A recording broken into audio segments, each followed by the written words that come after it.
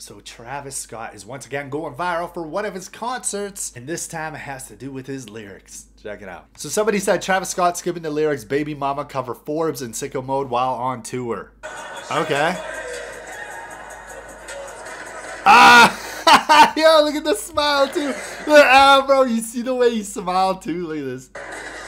He, he knows. He's like, yeah, I did that on purpose. Yeah, yeah. Somebody said it looks like he's beefing with his baby mama. This is what I was talking about. It's the smirk after.